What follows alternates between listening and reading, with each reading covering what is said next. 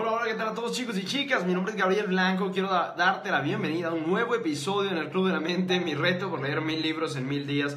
Todos los días leo un libro y comparto contigo los conocimientos adquiridos, porque aunque trabajamos con nuestros cuerpos, son nuestras mentes las que nos hacen obtener resultados extraordinarios. Saludos chicos, saludos chicas. ¿Cómo están? Déjame comentarios aquí para saber desde dónde nos estás viendo. Hoy vamos a hablar de un libro fascinante, un libro que me encanta, se llama El millonario de al lado, The Millionaire Next Door, El millonario de al lado, así se llama este libro del cual vamos a estar hablando en esta noche. Saludos, saludos, saludos a toda la gente, estamos aquí dándole invitar a algunas personas. Gracias, gracias por conectarse. Gabriela, David, Camilo, Javier, ¿cómo estás? Luis Vidal, conectado desde aquí. Bueno, ¿quién quiere conocer los secretos del millonario de al lado? Bueno, la famosa historia de una persona que vivía al lado de un millonario se acerca y le pregunta, bueno, ¿cómo le haces para tener tanta fortuna, para siempre estar tranquilo, para nunca preocuparte por el dinero?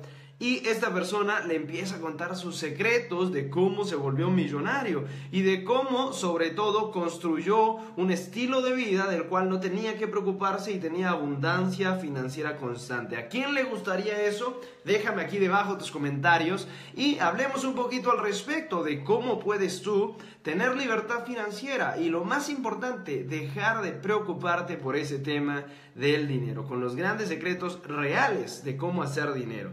Saludos, Stephanie, ¿cómo estás? Lee, hola, dice Gabriela, tú siempre simpático y agradecido, muchísimas gracias. Hola, Stephanie, hola, Luis Miguel, hola, Héctor, David, bueno, muchísima gente ahí. Tenemos a Stephanie, Gabriela, Verónica, Mira, Antonio, Lee, ¿cómo estás? Lisette, Fabiola, saludos desde Perú, dice. Saludos aquí a Guillermo Laurelin, Andrea, Hermes, Víctor. Bueno, qué bueno que están conectados. Comenten muchísimo porque hoy vamos a hablar de un tema bien interesante que se llama El millonario de al lado, un libro de eh, William Danko y Thomas Stanley.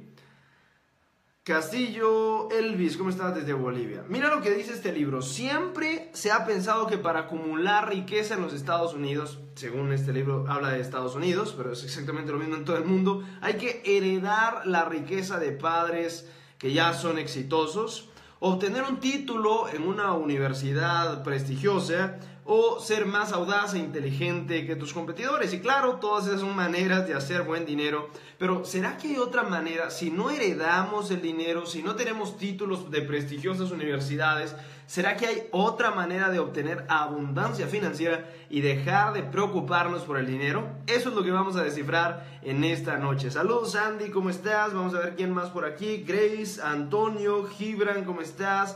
Ah, gracias, gracias por conectar. Dale compartir a la transmisión, por favor. Dale compartir para que lleguen más personas. Y déjanos aquí tu comentario, a ver qué opinas de todo lo que te voy diciendo y si tú estás implementando estas estrategias para poder generar más y más y más riqueza o por el contrario, quizás estás haciendo lo, lo opuesto y por eso es que no logras ganar dinero y que no logras la abundancia y que todo el tiempo estás preocupado. Aquí la cuestión no solo se trata de tener mucho dinero, se trata de dejar de preocuparse por ese tema y empezar a relajarnos empezar a vivir de una manera más plena, más agradable, más confiada, porque cuando tienes deudas, cuando tienes problemas, cuando no puedes pagar, te sientes angustiado, te sientes que literalmente que ya no vas a poder sobrevivir. ¿Cómo eliminamos ese, esa angustia tan terrible? De eso hablamos hoy. Veamos. Mira, el autor dice, estudió a más de mil millonarios en el mundo entero. De hecho, Thomas Stanley y William Danko, ambos son PhD, como le llaman, o sea, eh, doctores, tienen un doctorado. Y eh, ellos hicieron un análisis de más de mil millonarios en el mundo entero y encontraron las verdaderas claves para construir riqueza. ¿Te gustaría conocerlas? Bueno, quédate aquí en esta transmisión. Juanjo, Eleuterio, Alberto, Patricia, Renato, ¿cómo están? Saludos, Renato, ¿cómo estás?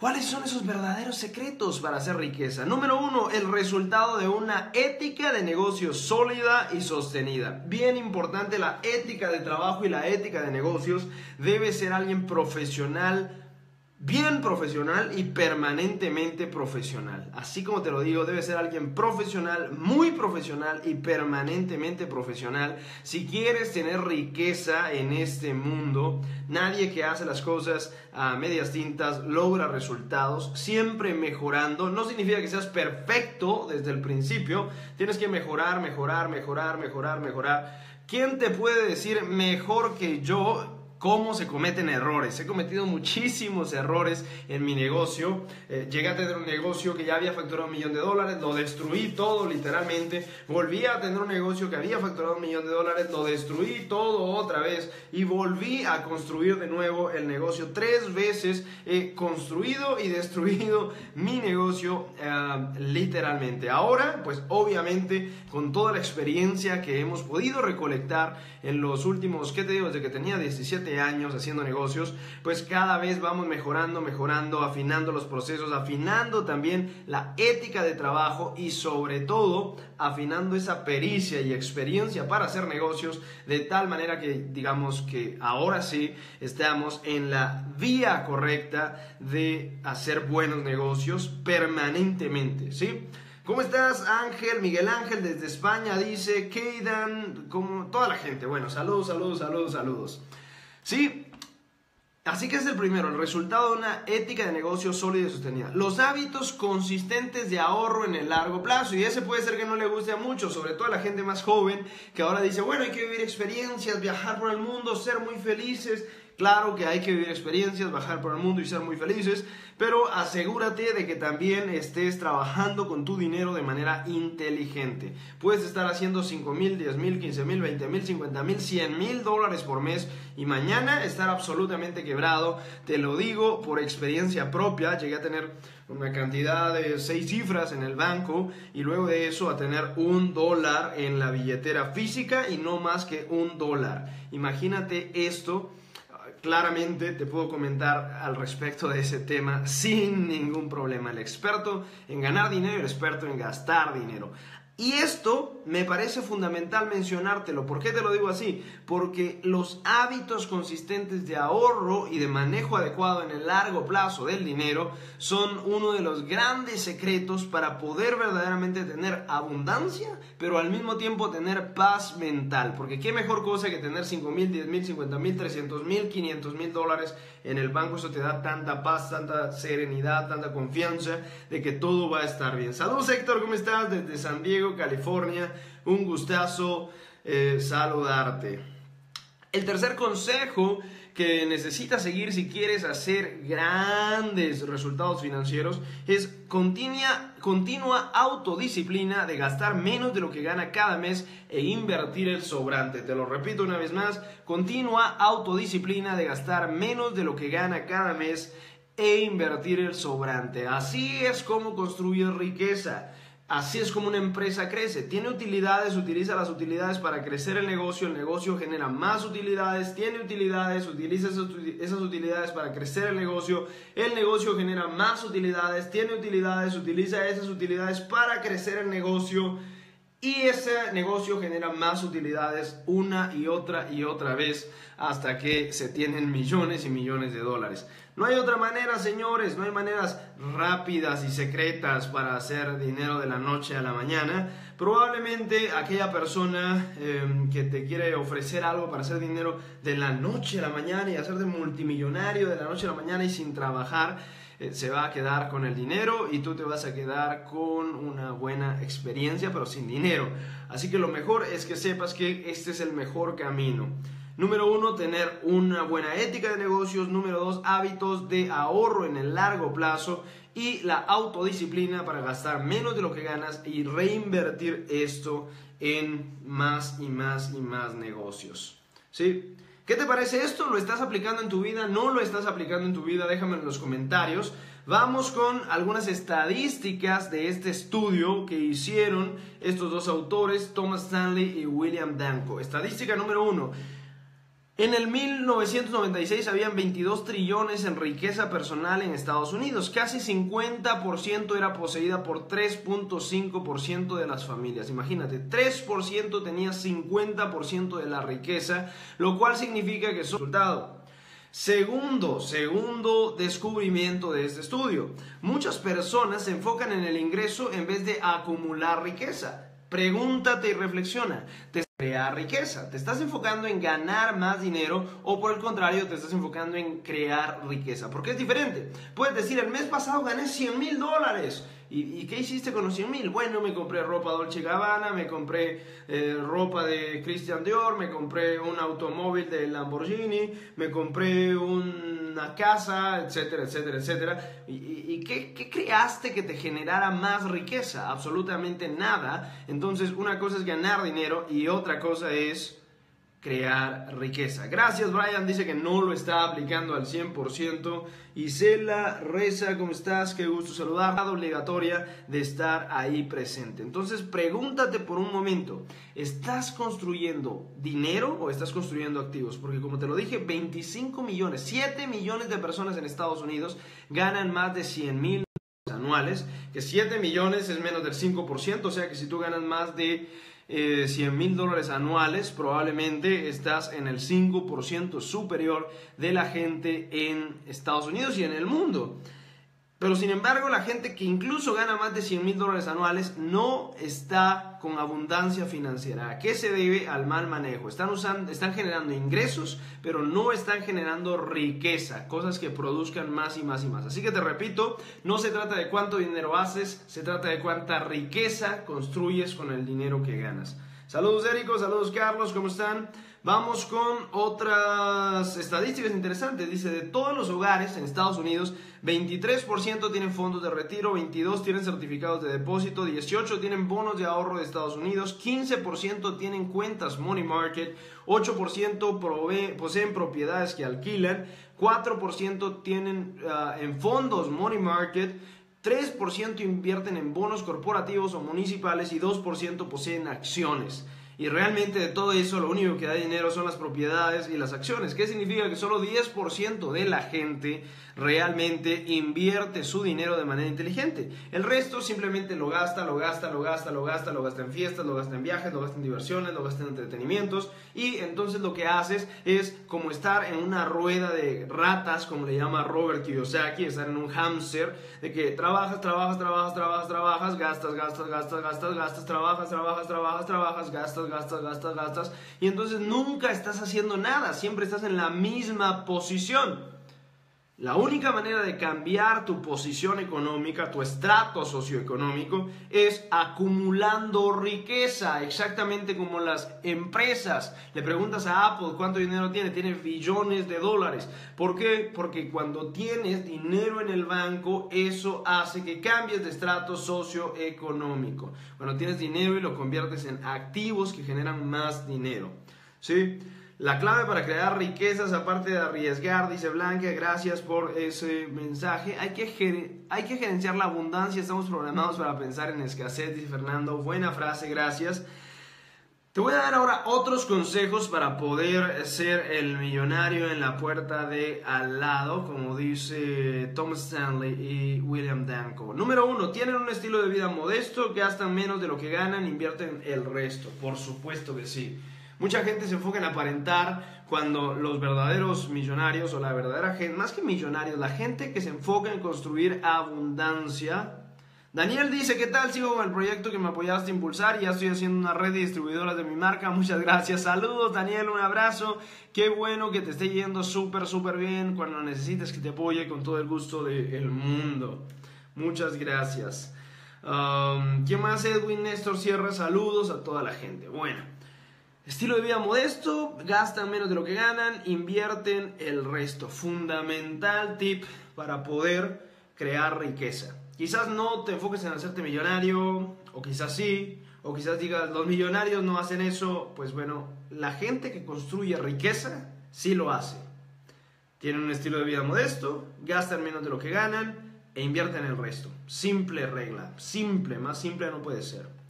Vamos a ver el número 2. Son eficientes empleando los recursos, tiempo, dinero y energía. Son eficientes empleando los recursos, tiempo, dinero y energía. No pierden tiempo en actividades inútiles, no pierden dinero en cosas improductivas y tontas y no pierden energía en actividades ineficientes. Son inteligentes en el uso de sus recursos. La pregunta es, ¿estás siendo inteligente en el uso de los recursos? ¿Estás utilizando tus recursos en donde más impacto están generando? ¿Sí o no? Bien, bien sencillo. Um, me gusta esto, gastan más tiempo que otras personas planificando sus finanzas, las personas que crean riqueza. Em, emplean un mínimo de tiempo adquiriendo artículos de lujo, realmente no es la cosa más importante para la gente que construye riqueza. Excelente, dos diferencias entre riqueza y ganar bastante dinero, dice Camilo, gracias, gracias, gracias. Emplea un mínimo de tiempo construyendo, comprando lujos. Eso es pérdida de tiempo. Eso lo puedes hacer muy rápido, de hecho. Mm. Y se centran en eventos que tienen bajo control. Eh, ley número 3 o secreto número 3, dan mayor prioridad a la independencia financiera que a la posición social. Y este me encanta, de hecho yo soy muy similar a esto en el manejo financiero. Dan mayor prioridad a la independencia financiera que a la posición social. No se trata de ser de la alta sociedad, no se trata de tener cosas de lujo, no se trata de vivir en el barrio de lujo. Obviamente quieras lo mejor para ti, por supuesto, pero pones por encima de la apariencia de cómo vas a salir a la calle, pones por encima de eso cuánto realmente estás construyendo en riqueza. Como dice una famosa frase de las que ponen en las redes, dice, ¿qué preferirías? ¿Tener una bolsa de 300 dólares y llevar 10 dólares en la bolsa? ¿O tener una bolsa de 10 dólares y llevar 300 dólares? En la bolsa. Te lo repito, ¿qué prefieres? ¿Tener una bolsa de 300 dólares y llevar 10 dólares en la bolsa? ¿O tener una bolsa de 10 dólares y llevar 300 dólares en la bolsa? Pues bueno, la mayoría de personas prefiere tener la bolsa de lujo aunque se queden pobres. Las personas más inteligentes financieramente prefieren tener las cosas que necesitan nada más y ser verdaderamente ricos. Alma, saludos. Jaime, ¿cómo estás? Nínive, gracias, gracias por conectarse. Vamos con la ley o el secreto número 4 para hacer riqueza. Sus padres no les proporcionaron asistencia financiera y ellos mismos han logrado su propio éxito. Sí, para aquellos que dicen, bueno, es que tú lo heredaste, bueno, es que tú tuviste suerte, bueno, es que tú, etcétera, etcétera, etcétera. Olvídate, no se trata de suerte, no se trata de heredarlo, no se trata de absolutamente nada de estas cosas. Todo se debe a el esfuerzo propio. Si quieres verdaderamente tener grandes riquezas, ojalá tengas muchos problemas que solucionar para que aprendas cómo se solucionan los problemas como adultos. Ley número 5, le enseñan a sus familiares a ser económicamente suficientes. Así es. Si tú no le estás enseñando a tus hijos, a tus hermanos, a tus papás, a tu familia, cómo construir riqueza, entonces te, digo por qué yo, por ejemplo, estoy haciendo eh, que mi familia, mi equipo, toda la gente tenga riqueza, porque ellos van a volver hacia mí me van a apoyar. Mis socios, mis clientes, yo quiero que todo el mundo tenga riqueza. ¿Por qué? Porque si todos tienen dinero, claramente a mí me va mejor. Me voy a relacionar con personas de dinero y no con personas sin dinero.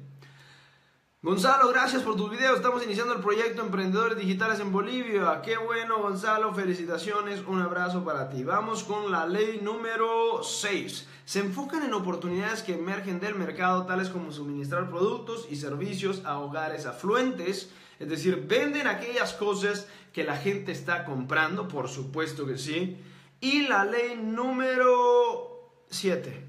Escogieron una ocupación en la que podrían proporcionarse su propio empleo. Por supuesto que sí. vale, Barahona dice, desde Guatemala te había perdido la pista. Bueno, pues sígueme, sígueme, sígueme, sígueme aquí en el Club de la Mente. No me pierdas la pista. ¿Por qué? Porque ya estamos en el episodio, llegando al episodio 600 de El Club de la Mente. De hecho, vamos a estar en Guadalajara enseñándoles cómo pasar de empleado a empresario de Godines a empresario, más bien vamos a estar lanzando nuestro nuevo libro y haciendo una conferencia en la ciudad de Guadalajara en mayo 2, cómo pasar de ser Godines o empleado a ser un empresario exitoso. Si quieres saber cómo asistir a esta conferencia en Guadalajara, manda un mensaje porque además de la conferencia como tal y que aprendas cómo pasar de ser un Godines a ser un empresario exitoso, te vamos vamos a celebrar el episodio 600. Y te digo, es el episodio 600, va a ser el, más divertido, el más entretenido, el más grande de todos. Por lo tanto, tienes que estar ahí. Tienes que estar ahí si quieres llevar tu vida al siguiente nivel, si quieres crecer tus negocios, si quieres eh, cambiarte tu forma de pensar, si quieres inspirarte para siempre.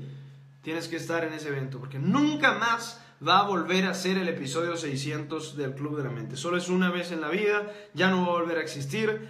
Después de eso pasamos al episodio 700, que no sé dónde lo vamos a hacer todavía. Pero estamos llegando ya a la conclusión de este reto, extraordinario reto estoico por leer mil libros en mil días. Y te lo estás perdiendo, te lo estás perdiendo, ya no te lo pierdas más, sigue con nosotros llega a Guadalajara este mayo 2 a conocer cómo hacer negocios y cómo pasar de ser un godines a ser un empresario. Escribe un mensaje si quieres estar en Guadalajara, como te lo digo, va a ser una vez. Si tú estás en México, si estás en Colombia, si estás en Centroamérica, si estás en algún Suramérica, en España, en Japón, tienes que estar en este episodio 600 porque como ya te dije, solo es una vez en la vida, solo es una vez en la vida. ¿Cómo será el episodio 1000? Dice Narciso. Pues bueno, va a ser fascinante seguramente. Con el apoyo de todos ustedes, por supuesto, va a ser una cuestión muy, muy increíble. Un abrazo para todos, mi reto por leer mil libros en mil días, todos los días leo un libro y comparto contigo los conocimientos adquiridos, porque aunque trabajamos con nuestros cuerpos, son nuestras mentes las que nos hacen obtener resultados extraordinarios. Hasta